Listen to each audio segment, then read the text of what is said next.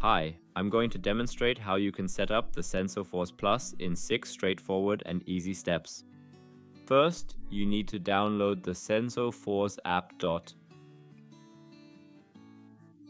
The app is available for both Android and iOS operating systems in German, English, French, and Spanish. Italian and Slovenian are also available. Now, effortlessly pair the Senso4s Plus with your mobile device using Bluetooth. You need to be as close as possible to the Senso4s Plus during the initial pairing, within a maximum distance of 50 centimeters.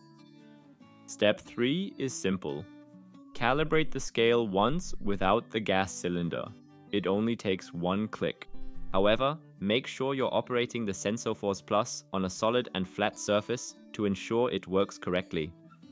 Now, carefully check on the gas cylinder. The tare weight is prominently printed right on it. Enter this and the maximum filling weight of the gas cylinder into the app. Adjust the Senso4s Plus to the appropriate size of the bottom of your gas cylinder. Because of its adjustable feet, the sensor can be effortlessly customized to fit a wide range of cylinder sizes. Scales on the feet of the device help you with this. Finally, it's best to place the bottle on the scale with the pressure regulator and gas hose attached, and the app will show you the current filling level of your gas cylinder. Follow these steps and everything will go smoothly and you'll always know how much gas is left in the cylinder. Senso4s, plus the digital fill level indicator, available at local stores or online purchase.